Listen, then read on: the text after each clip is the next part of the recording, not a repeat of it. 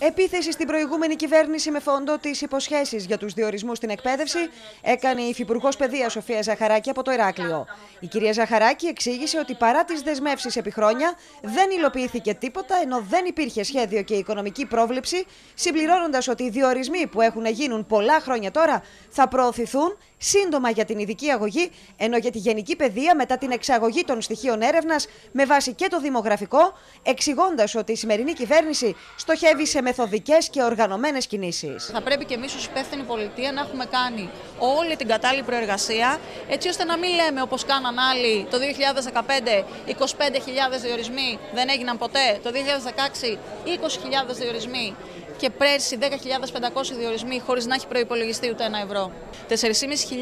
αυτή τη στιγμή εκπαιδευτική, ειδικό βοηθητικό και ειδικό εκπαιδευτικό προσωπικό αναμένουν τα αποτελέσματα του ΑΣΕΠ.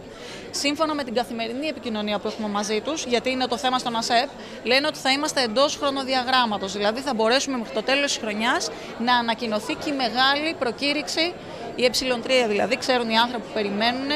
για το μεγάλο αριθμό των εκπαιδευτικών. Μιλάμε για την ειδική αγωγή. Από εκεί και πέρα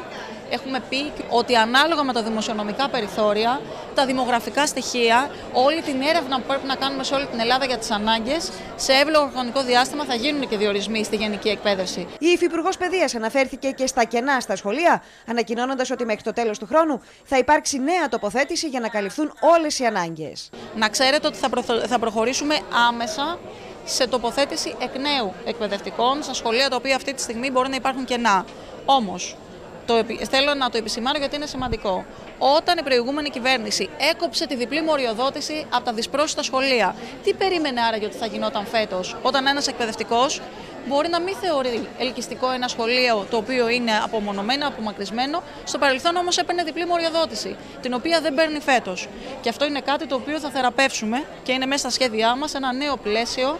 ως προς την ενίσχυση των δυσπρόσιτων σχολείων. Η κυρία Ζαχαράκη παραβρέθηκε νωρίτερα στο συμπόσιο με αφορμή τη λήξη του προγράμματος CRIS Horizon 2020, που υλοποιήθηκε την περίοδο 2018-19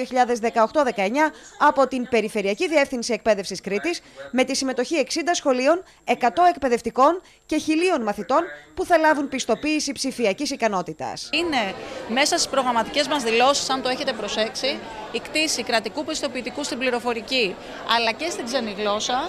μέχρι να τελειώσουν τα παιδιά μας στο σχολείο και θα το δείτε να γίνεται πράξη πολύ σύντομα. Η επιδίωξη Περιφερειακής Διεύθυνσης Εκπαίδευσης είναι να έχουμε το εθνικό του σκέλος τουλάχιστον και με πόρους που έχει το Υπουργείο Παιδείας το επόμενο ε, στάδιο, δηλαδή να χρησιμοποιήσουμε αυτή ή κάποια παρόμοια πλατφόρμα και με την εμπειρία που έχουμε αποκτήσει ως εκπαιδευτική και ως μαθητές και ως στελέχη της ε, Περιφερειακής Διεύθυνσης να μπει σε περισσότερα σχολεία και εκτός Κρήτης.